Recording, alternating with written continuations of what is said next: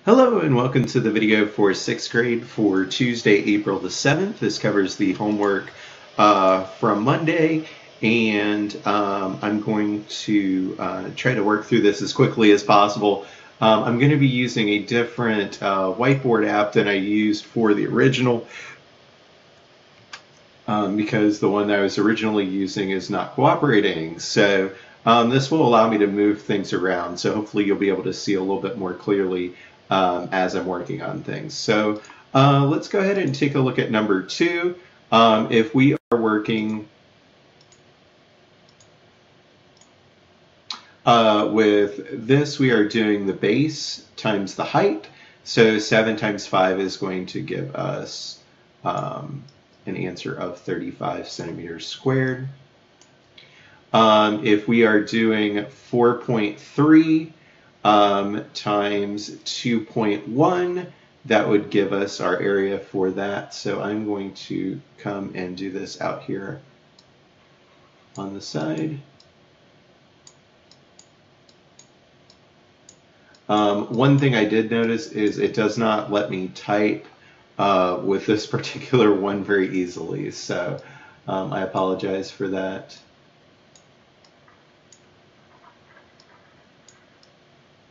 So it looks like that should be 5.03.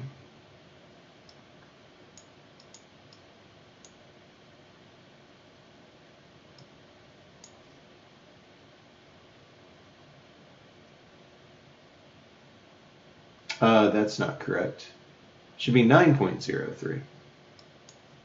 Sorry about that.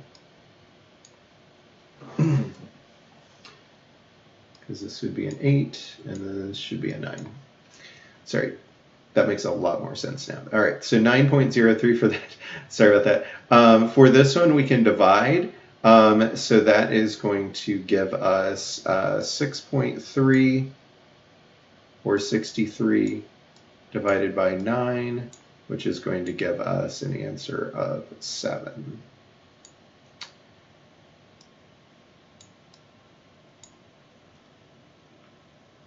Uh, number eight,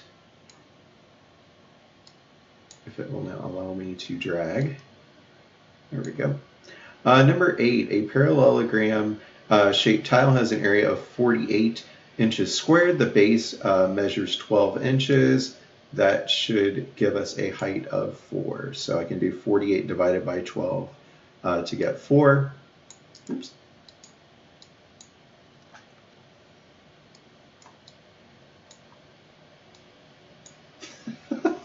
You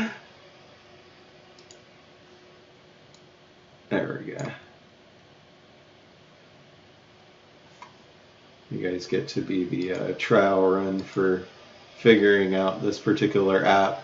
Um, so number one, um, the park is shaped like a parallelogram. It has an area of 1 16th of a mile. The base is 3 eighths of a mile. So we would do uh, 1 16th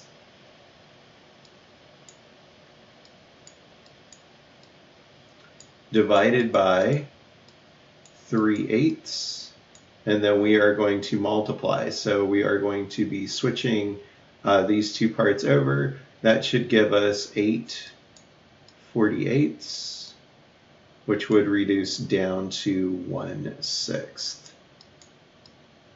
of a mile.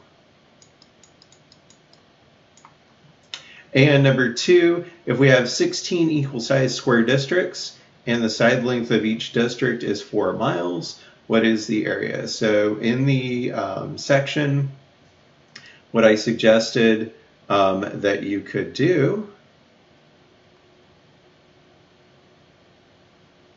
was to make a shape that is a square and put 16 smaller squares inside of it.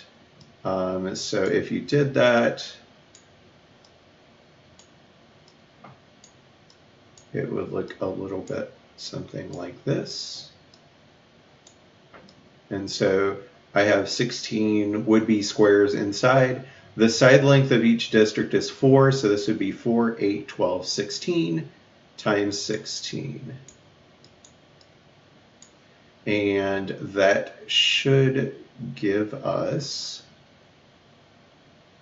160 plus 80 is 240, so it should be 256 for that.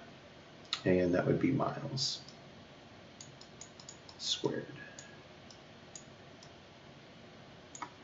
So those are our answers for today. If you have any questions, uh, feel free to uh, post in the comments in Google Classroom, and I will be happy to Uh, give you some additional assistance as needed. Have a great day, and I will see you tomorrow.